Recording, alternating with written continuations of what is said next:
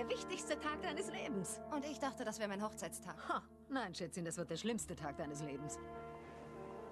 Lizzie, das ist ja so... Harvard. Wir werden so wie diese ausgeflippten Schriftsteller-Freaks. Äußerst brillant und düster, sexy.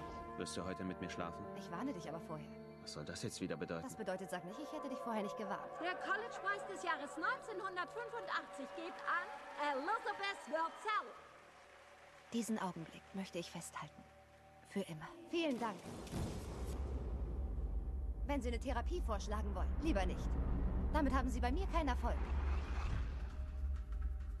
Bei Hemingway gibt es diesen klassischen Augenblick in Fiesta, wo jemand Mike Campbell fragt, wie er denn pleite gegangen sei. Er antwortet darauf nur, so nach und nach und dann ganz abrupt.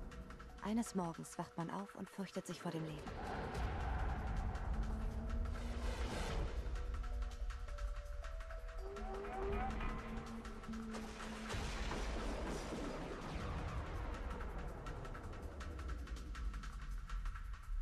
Ich nenne diesen Laden das Crackhaus, wo ich mir meine Drogen besorge. Dr. Sterling ist mein Dealer. Alle Ärzte scheinen mit diesem Zeug zu dealen.